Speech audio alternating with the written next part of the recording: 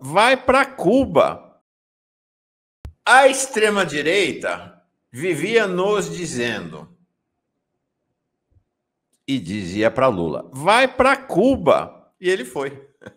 Sábado, Lulão estava lá em Cuba e a Ana Prestes vai nos contar tudo o que aconteceu. Ele vai participar desta cumbre del grupo de los 107, de los 77. Então, a cúpula do grupo de 77. A Ana vai nos explicar o que, que é esse grupo, o que, que Lula foi fazer lá e da relevância da relação né, do Brasil com Cuba. Primeira visita de Lula a Cuba com o, esse jovem aí que vocês estão vendo, que é o novo presidente de Cuba, o Dias Canel, e se isso vai repercutir, essa passagem por Cuba antes de Nova York vai repercutir lá na Assembleia Geral da ONU ou não? Conta tudo para nós, Ana. Então, essa reunião foi muito importante, essa reunião do grupo aí do G77 mais China. É, algumas pessoas perguntam por que, que chama mais China, é porque o status de participação da China não é realmente assim de membro é, é, do grupo, e também porque não estava na, na época na sua uh, fundação. Então, esse grupo, que a gente chama G77, mas ele é bem maior que o G77, ele conta aí com mais de 130 países, com diferentes níveis de participação uh, e de associação. Ele é antigo, ele nasce lá nos anos 60 ainda, é, e ele tem essa característica de ser um, um, grupo de países em desenvolvimento. Ele é muito diferente do G7. ele é daqueles países que são opostos, digamos assim, dos G7, que são os países mais ricos do mundo. Então, países que uh, estão em desenvolvimento, países pobres, países uh, que sofrem os impactos da desigualdade imposta aí pelo, pelo nosso sistema. E assim, é, é interessante, né, Ana, que a gente saiu desse lugar. Esse, existiu ali nos anos 60, 70, 80, o chamado Grupo dos Países Não Alinhados, que era quem não estava alinhado nem com a União Soviética, nem com os Estados Unidos. Então, está no bojo dessa ideia de, naquela bipolarização, esse grupo de países negociar com mais força né, com as duas potências globais né, naquele momento. Exatamente. Então, é, ele, o fato dele ter sido presidido este ano por Cuba, porque assim a gente está vendo agora o, o, ápice, que é a cúpula presidencial. Mas ao longo de todo o ano foram vários encontros, inclusive os ministros e as ministras aqui do Brasil foram de áreas específicas, é, para tratar de áreas específicas. Geralmente eles se encontram antes da Assembleia Geral da ONU, um pouco antes da Assembleia Geral da ONU, porque eles também se articulam com relação às pautas e os pontos é, da Assembleia Geral da ONU.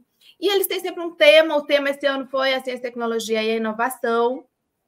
É, tanto é que o Brasil foi, é, antes do Lula chegar a Havana, ele, Brasil, a delegação foi chefiada pela ministra de Ciência, Tecnologia e Inovação, Luciana Santos, é, porque sempre o, tem uma tema, um tema, por exemplo, eu lembro muito bem do G77 mais China, que foi na Bolívia, não sei se vocês lembram, uns anos atrás, que ele teve um tema muito forte, questão ambiental. Dali saíram também muitos pactos e acordos para que esses países se articulem eh, no âmbito eh, do, do, da ONU. É importante o Brasil ter ido, pelo fato obviamente, da, de, é, de Brasil ser um, um, país muito importante né, da América do Sul, América Latina, e de ter uma ação internacional, e também porque foi a primeira visita do presidente Lula à Havana, Cuba, no seu terceiro mandato. É, presidencial, né? É, então foi importante a bilateral que ele teve com o Dias Canel, teve outras bilaterais é, ali também, e é importante porque o presidente Lula ele sai do G77 também fortalecido para aquilo que eu já tinha falado de ser um porta-voz do Sul Global. E você percebe que o Brasil, o Lula, ele tem falado sempre o seguinte: das defasagens, das diferenças, é, das diferenças eh, de responsabilidades né, das diferentes responsabilidades dos países ricos e desenvolvidos e dos países pobres em desenvolvimento com relação às metas, inclusive as metas é, climáticas, todas. Então, o Brasil ele é realmente é, essa voz. E ali foi um momento de. Você achou que essa passagem lá, Ana, dele pelo, pelo evento lá em Cuba fortaleceu ele para ser isso. Eu acho ele chega lá não falando apenas em nome do Brasil, mas desse grupo aí, de não alinhados, vamos dizer assim.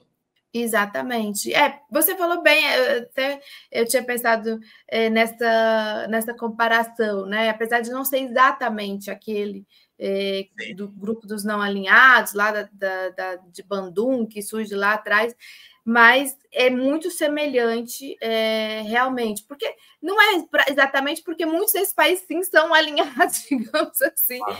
Com uh, o imperialismo em alguma medida, digamos, vou falar assim, em termos mais, uh, mais claros. Mas é, tem, uma, tem semelhança assim, com, aquele, com aquele movimento. E é, foi muito, muito importante o presidente Lula ter passado lá, porque é como um, um empoderamento, digamos assim, e um ajuste fino também do que é, vai se falar. Tanto é que eu vi na imprensa, acompanhei, que houve mudanças no, no discurso do presidente Lula, ajustes, e tenho certeza que também foi fruto dessas, desses encontros e dessas reuniões.